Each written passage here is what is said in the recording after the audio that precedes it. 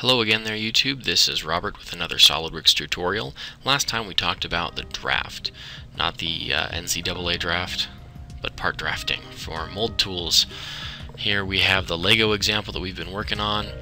Um, let's just look at draft analysis again. When you're making a mold tool, um, you want to make sure that you have drafted out all of your faces. That means that they go out in an angle. They're not perfectly vertical, otherwise your mold won't separate properly. You're going to have a lot of troubles.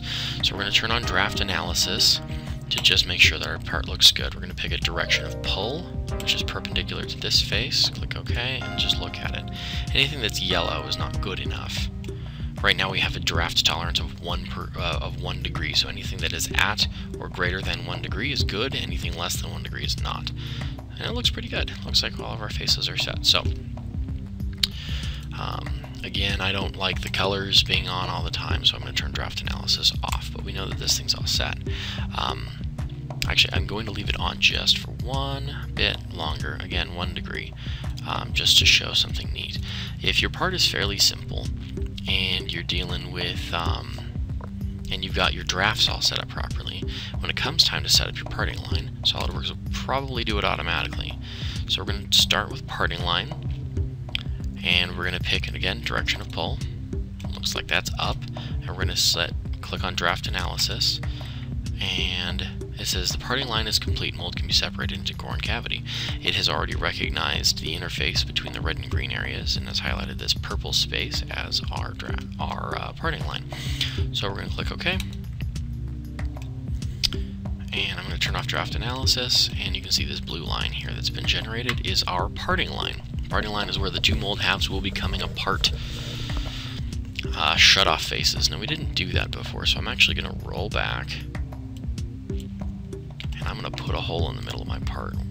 Not that you'd actually have something like this on this particular part, but you might have a hole in the middle of your part, and you'd want to know how to compensate for that, so we're just going to cut through. Okay, so now we've got a nice hole. Okay, which means we've got to put a draft on it. So we're going to go to our first draft feature, and we're going to add this face to the selections. Sorry about that. So let's roll this guy down again. Same spot. Perfect. Control Q forces a rebuild. Save our model.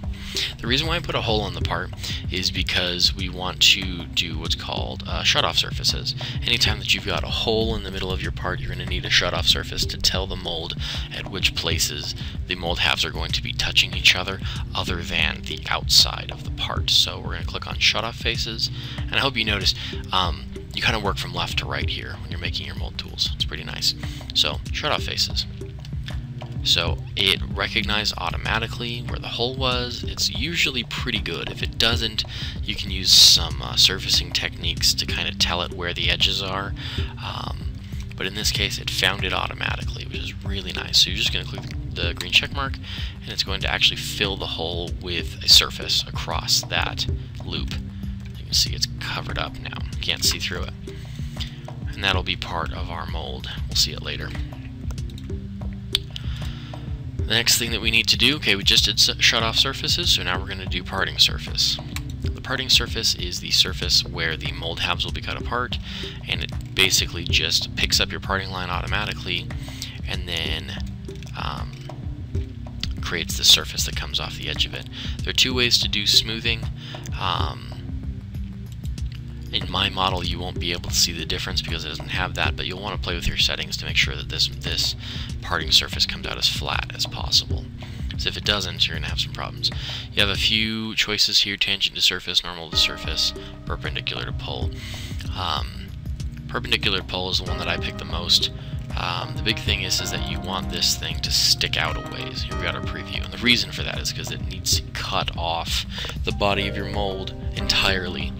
And so I just extended out to an unreasonable length, uh, just because that's that'll you'll you'll thank yourself for doing that later. So we're gonna click the green check.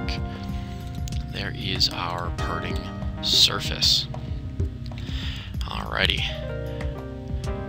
Next time we're going to do the tooling split and I'll show you how to do that so that way you actually get two mold halves and then uh, I'll show you how to explode that view so that way you can see the individual pieces.